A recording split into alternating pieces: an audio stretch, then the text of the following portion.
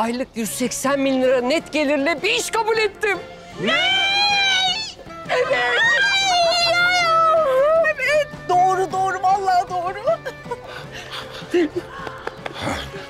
Öznur da menajerim olarak 36 bin alacak baba. Öyle mi? Ee, sakın sizi kandırmasınlar çocuklar. Ha? Yok baba ben konuştum. Bizzat ben konuştum. Ay çok Ha, Çok sevinme. Sevinme bak sonra sonra kursağında kalır. Çok şükür çok şükür. Oldu be. Sonunda oldu. Ya tebrik etmeyecek Ee, misin? Gel bir daha gel.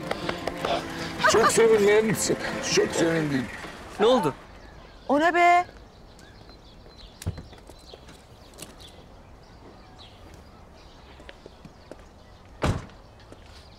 Hadi bakalım Burak. Sen başla indirmeye.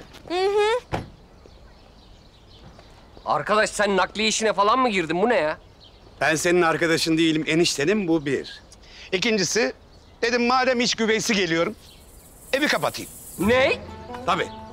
Ev sahibi zaten çıldırıyordu zam zamanı falan diye. Şimdi artık çıktığımı duydu, sevinçten havalara uçtu. Babacığım, Efendim? beni bir evlat olarak kabul ettiğiniz için ne kadar müteşekkir olsam azdır. Zaten zaman içerisinde bunu daha da iyi anlayacaksınız. Ay ben mi fena alıyorum yemin ederim baba ya. Hadi. Aa, bu ne bu ya?